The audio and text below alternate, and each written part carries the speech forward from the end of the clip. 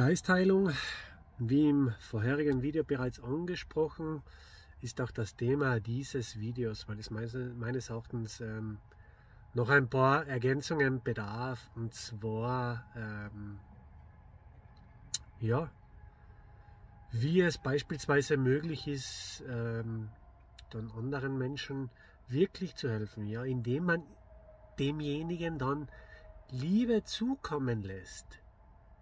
Und diese Liebe, die man einen zukommen lässt, hilft dann einerseits dabei, die Energie wieder fließen zu lassen und andererseits führt es dazu, dass die Liebe in demjenigen dann selbst zu leuchten beginnt. Und dieses Mehr an Leuchten aktiviert dann den stärksten Heiler. Und dieser stärkste Heiler ist in uns. Also immer durch uns selber. Und nicht durch irgendwas im Außen.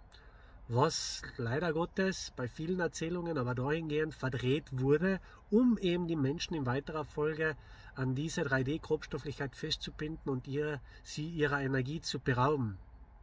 Doch das hat mehrere Gründe, warum Geistheilung, so wie sie gegenwärtig gerne nach außen hin vermarktet und verkauft wird, ähm, nicht dem göttlich lichtvollen Weg entspricht. Und zwar der frei gewordene Raum in dem geistigen Bereich durch das Ablösen geistiger Besetzungen, die kann ja nicht nur durch die Energie eines Dritten besitzt werden, sondern auch wieder von anderen Wesenheiten. Also sind aber beides Dinge, die so der Heilung, vor allem der Förderung der Genesung nicht zugutekommen, weil eben einerseits neue oder andere Besitzungen diesen Raum nützen und dann wieder die Energie ins Stocken bringen und jede Energie, die nicht fließt, führt in weiterer Folge früher oder später eben zur Manifestierung der Heilungsblockaden in einem physisch-grobstofflichen Körper. Und wenn es eben die Energie eines Dritten ist, dann muss man sich die Frage stellen, woher stammt denn diese Energie? Woher stammt dieser Antrieb? Jemanden Heilungsmerkmale, Heilungssymptome, physische Weg zu zaubern. Und somit den Wegweiser für die Betrachtung geistiger Ursache zu nehmen. Woher stammt dieser Antrieb? Weil Spontanheilungen, wie sie immer wieder in der Öffentlichkeit davon berichtet wird und ähm, diese Geschichte auch kursiert, so muss man sich nur mal das Zusammenspiel von Körper, Geist, Seele Ebene betrachten und wird sehr schnell begreifen, dass diese Spontanheilungen nur, wenn überhaupt, in Ausnahmefällen zustande kommen. Warum? Weil diese heilvolle Information von geistigen Ursachen, die betrachtet worden sind, die informieren mal eine Zelle. Aus einer werden zwei, aus zwei vier und so weiter und so fort. Und wenn dann ein Großteil der Zellen, die über das Licht miteinander kommunizieren, informiert sind mit dieser heilvollen Information, dann zieht der Körper nach. Auf diesem Weg wird aber immer wieder zwischendurch mal überprüft, ob man diese geistigen Dinge wirklich geheilt hat und auch die abgekapselten Seelenanteile zurück integriert. Das wird immer zwischendurch wieder mal überprüft und bedarf es noch eine Kleinigkeit, um wirklich ähm, dorthin gehend ähm, heilen im Sinne von ganz Stück für Stück, dann verlangsamt sich die Heilung auf physischer Ebene. Wird der geistige Prozess gestärkt, dann beschleunigt sich wieder die Heilung auf dem oder einem physischen Körper. Aber es bedarf etwas an Zeit, Schritt für Schritt. Und so heilt man auch im Sinne von Ganzwerden. Gekommen, um heimzugehen, um es auf den Punkt zu bringen. Also spontan Heilungen, wie sie immer wieder mal berichtet werden, sind meiner Wahrnehmung nach ähm, von dem Dunklen orchestriert, um einen Quervergleich ziehen zu dürfen. Und zwar, man muss sich nur mal die ganzen Musik- und Hollywood-Stars anschauen. Warum sind sie denn so erfolgreich? Warum werden sie so protegiert, so hofiert, gefördert? Hochgejubelt. Das geht immer einher mit der Abgabe von Seelenanteilen. Was immer wieder in Filmen, auch in Kinderfilmen berichtet wurde, der Teufel, man muss immer die Seele abtreten oder Seelenanteile für eben gewisse Benefits in dieser 3D-Welt. Und der physisch grobstoffliche Körper stellt ja nichts anderes dar als quasi diese 3D-Grobstofflichkeit. Er ist quasi das Pendant in der menschlichen Form gegenüber allen anderen grobstofflich fest gewordenen Dingen, wie eben die ganze Landschaft, Häuser und so weiter und so fort. Und ähm, dieser Körper, dieser grobstofflich-physische, wird ja verwendet, um in weiterer Folge Menschen eben auf ihr und Umwege zu führen. Und wie gesagt, ich weiß, dass mit diesem Querverweis ähm, viele nicht umgehen können. So entspricht aber der Wahrheit, weil ich es, ich es selber erfahren habe dürfen. Man gibt quasi für körperliche Gesundheit Seelenanteile ab. Man gibt auch seine Ermächtigung ab. Und um dann diese Ermächtigung wieder zurückzuholen, Herr seiner selbst zu werden, sich von Energien Dritter zu entziehen, das ist ganz ein grausiges Gefühl, das wünsche niemanden. Und an diesen Stellen erkennt man dann, ob diese Energie eines Dritten etwas Lichtvolles ist oder eben nicht. Weil wäre es etwas Lichtvolles, so dann hätte man nicht dieses extrem dunkle und grausige Gefühl, was mit echt unglaublich dunklen und tiefen Gedanken einhergeht, um es mal ein wenig anzusprechen. Um den Kreis aber wieder zu schließen und wie eben bereits erklärt, also diese Spontanheilungen gehen meiner Wahrnehmung nach immer einher mit der Abgabe von Seelenanteilen, weil Heilung anders funktioniert wie eben die Information der Zellen und so weiter und so fort. Und der Körper zieht dann in seinem Tempo nach, Schritt für Schritt und nicht von jetzt auf gleich und von heute auf morgen. Und leider Gottes wird in dem Bereich der Geistheilung die Geschichte wieder genau umgekehrt, umgedreht, wie gegenwärtig und in den letzten Jahrhunderten und Jahrtausenden das immer der Fall ist. Aus Wahrheit wurde Lüge gemacht und aus Lüge wurde Wahrheit gemacht.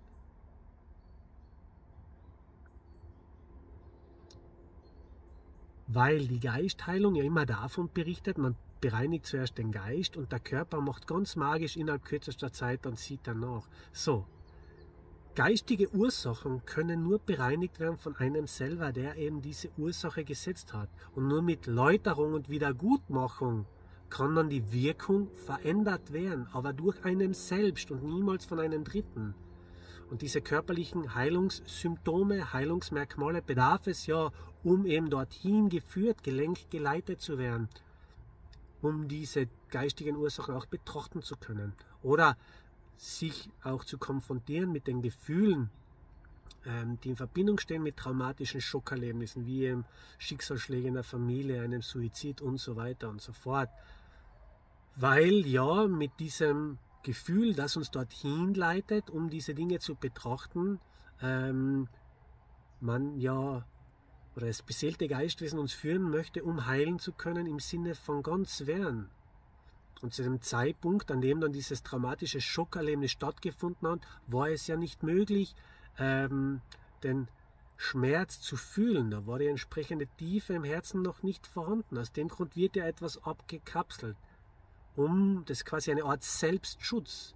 Aber dieser Selbstschutz, sofern man bereit ist, noch den Blick nach innen zu richten, wird ja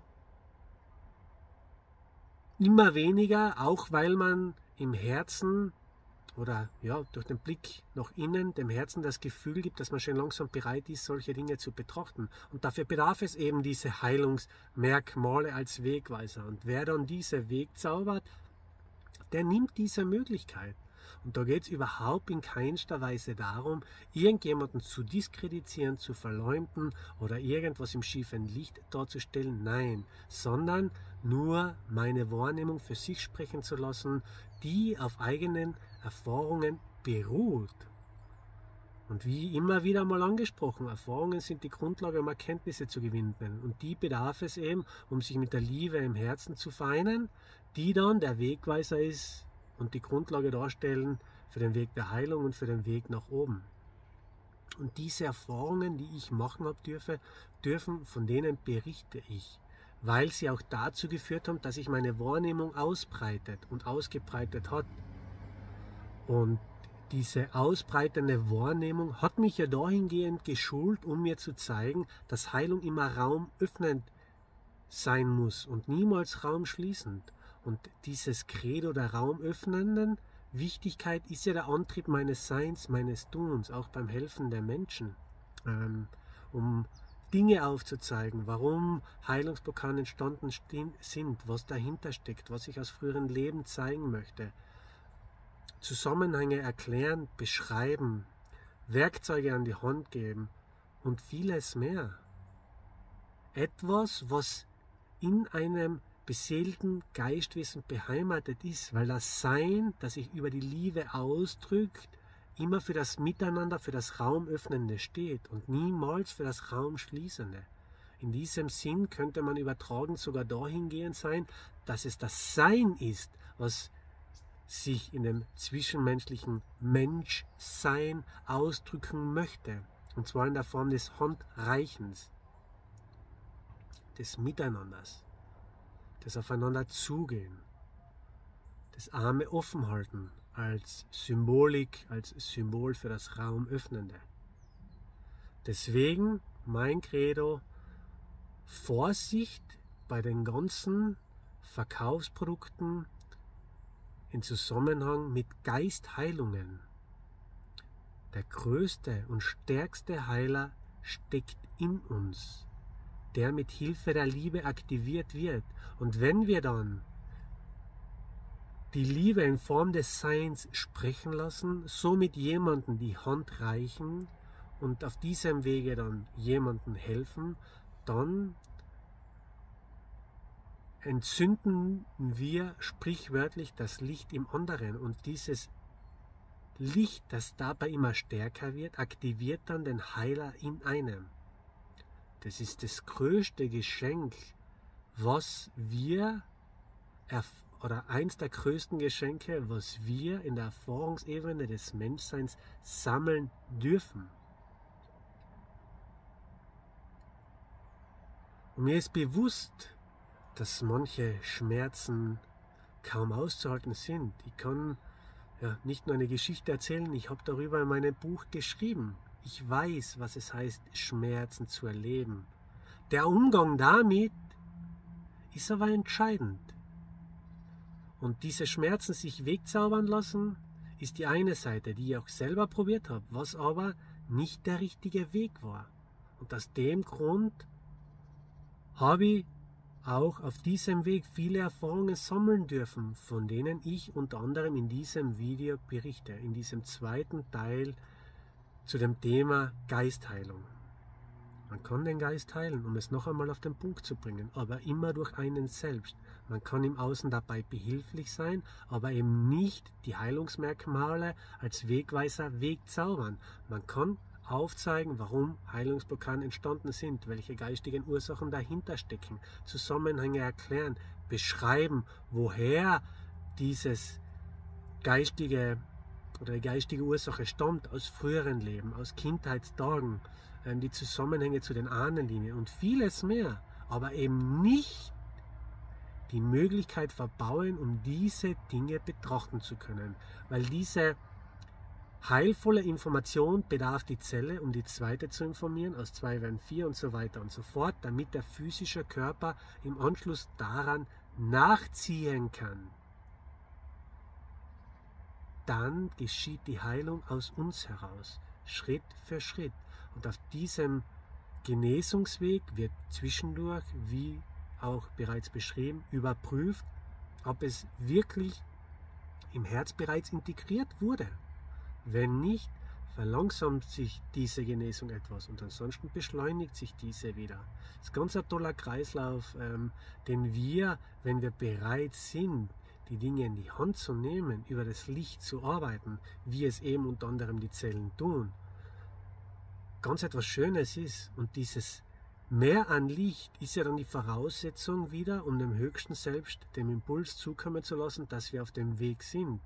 Was dann zur Folge hat, dass wir zielgerichtete Informationen des höchsten Selbsts bekommen und das Mehr an Licht, das eine stärkere Verbindung zum Herzen benötigt, ist dann die Grundlage, um eben diese zielgerichteten Informationen entschlüsseln zu können. Das ist ganz ein toller Kreislauf. Und wenn man wirklich mal begreift, die Dimension dessen und die Stärke dahinter erkennen kann, was uns alles mitgegeben wurde, was ich durch uns ausdrücken möchte, so, ähm, was soll dann noch schiefgehen?